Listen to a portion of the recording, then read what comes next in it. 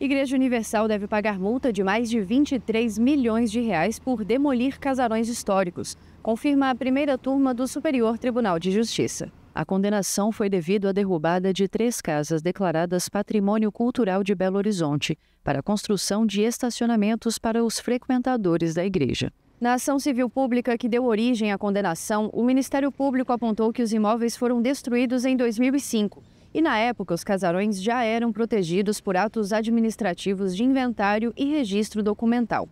O tombamento integral foi confirmado posteriormente pelos órgãos de preservação histórica e cultural de Minas Gerais. O Tribunal de Justiça Mineiro reconheceu que as casas destruídas estavam protegidas como patrimônio público e condenou a Igreja Universal ao pagamento de mais de 23 milhões de reais por danos patrimoniais e morais coletivos. O ministro Sérgio Cuquina, relator do caso, concordou monocraticamente com a condenação e agora a primeira turma confirmou a decisão dele, entendendo que o processo de tombamento já estava em curso no momento das demolições. Assim, foram afastadas as alegações apresentadas pela Igreja, como a suposta falta de intimação quanto ao laudo técnico do Ministério Público de Minas Gerais, que embasou parte do valor da indenização imposta.